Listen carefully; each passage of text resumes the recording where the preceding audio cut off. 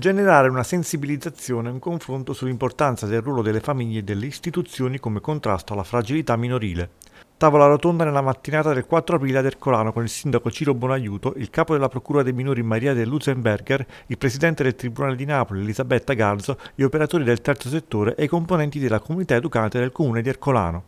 Un incontro che arriva ad un anno dalla partenza del progetto Pippi, finanziato con i fondi del PNRR e che è servito a tracciare un primo bilancio delle attività svolte dal comune di Ercolano e dall'ambito territoriale 29. Un'iniziativa straordinaria. Il PNRR è necessario per colmare la lacuna tra il nord e il sud del Paese e per raggiungere questo obiettivo non servono soltanto grandi opere pubbliche e grandi infrastrutture, ma serve intervenire nelle famiglie, serve intervenire contro la fragilità minorile. Noi vogliamo dare anche ai figli degli ultimi le stesse opportunità che hanno i figli delle famiglie più fortunate.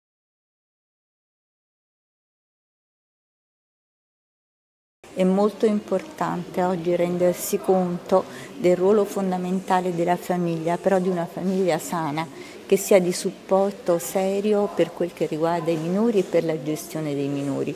Purtroppo abbiamo visto che in tante occasioni tanti minori sono stati assolutamente abbandonati e quindi cresciuti in un ambiente assolutamente non idoneo, il che ha portato poi ad entrare nel momento in cui sono cresciuti in un ambito criminale.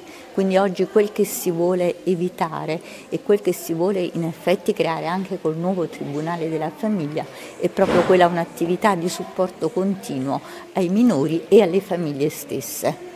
Il PNRR, come eh, ormai risaputo, dà un'opportunità ai territori.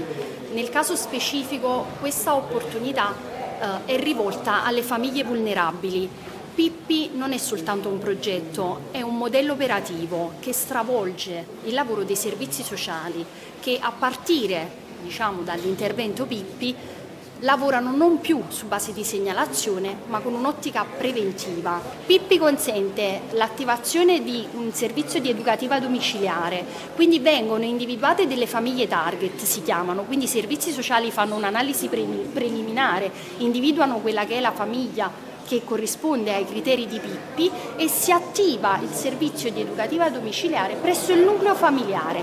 Quindi di fatto la famiglia è supportata con il ruolo di un professionista, in questo caso l'educatore professionale, ma anche di un'equipe multidimensionale che lavora intorno ad essa, quindi lo psicologo, abbiamo il sociologo che interviene sul nucleo familiare e supporta la genitorialità il fine è quello di arrivare ad una genitorialità positiva. È l'attività di prevenzione che può eh, sicuramente aiutare a evitare la devianza dei giovani.